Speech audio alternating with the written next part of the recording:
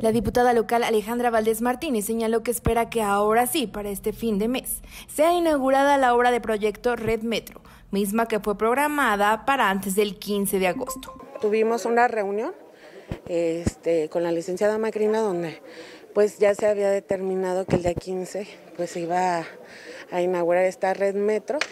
Por ahí ha habido algunos inconvenientes, a lo que yo sé. Eh, ella dice que a final de mes eh, ya se inaugurará.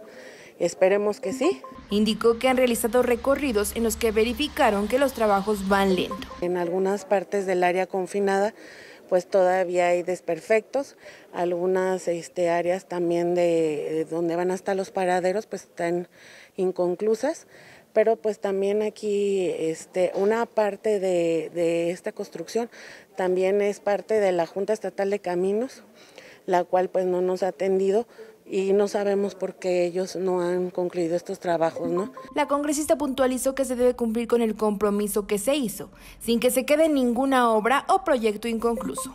Y se debe terminar estas, este, todas estas obras porque pues así se, así se dijo, se les eh, desde este Congreso autorizó los presupuestos desde hace mucho tiempo y yo creo que se tiene que terminar. Aquí no debe de haber ningún problema.